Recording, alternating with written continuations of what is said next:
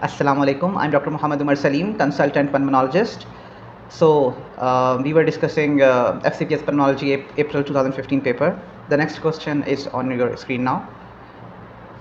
A 65 years old woman, 30 pack years current smoker, presented with weight loss and dry cough. Contrast enhanced CT chest showed right upper lobe mass and lymph nodes in paratracheal, subcarinal, and hilar region. There was no evidence of metastasis. Bronchoscopy showed lesion at carina, and immunohistochemistry was positive for CK7 and TTF1, while it was negative for CK56, P63, synaptophysin, and chromogranin. Part A of the question is what is the diagnosis? Part B is what is the TNM of this patient? Write eight neurological paraneoplastic syndromes is question part C.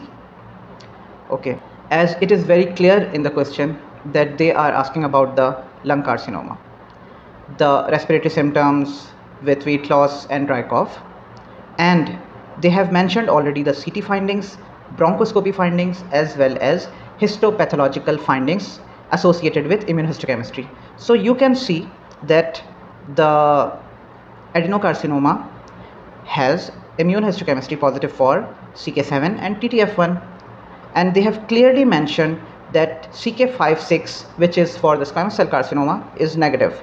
So our diagnosis is adenocarcinoma lung okay. Part B of this question is what is the TNM of this patient?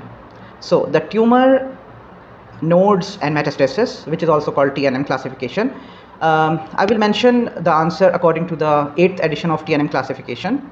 Uh, the tumor or T will be 4 because the, the bronchoscopy shows lesion at carina. If the patient has lesion at carina, it is already T4. Okay, the nodes are uh, paratracheal, subcarinal, and hilar region. This is specific for N2. These are N2 nodes, so T4, N2, and they have already uh, mentioned that there is no evidence of met- metastasis. So T4, N2, M0, which is 3B, 3B stage of the patient. 3 so the T4, N2, and M0 is the 3B stage of the lung cancer of the adenocarcinoma lung. Okay. Part C will be Lambert-Eaton syndrome, encephalomyelitis, cerebellar degeneration, sensory neuropathy, opsoclonus, myoclonus, autonomic neuropathy, mononeuritis multiplex, and myopathy. So this was question 15 of April 2015. I hope you understand and if you have any queries regarding the question, please comment me in the comment box. Thank you so much. For more solved cases, SAQs, SBAs, MCQs, get these books from local, international and online bookstores. The link is given in description box.